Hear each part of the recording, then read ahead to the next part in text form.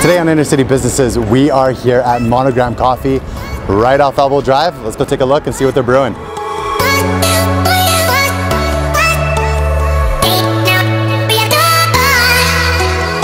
We are here with Geraldine. Tell us why Monogram is so different.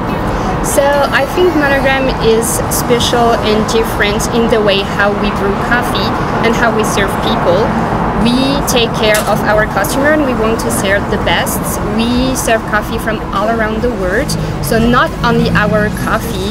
Um, because we are also roaster, but also coffee from all around the world, like I said, from Italy or Netherlands. This is um, our thing, try to sell the best. And what did you make us today? I made a latte for you, so I made a latte with a shot espresso, of espresso.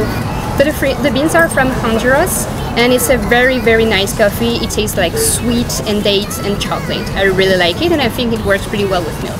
I'm a huge coffee drinker. Definitely gonna wanna come check out this place. Let's give it a try. That is really good coffee. We'll see you next time on Inner City Businesses.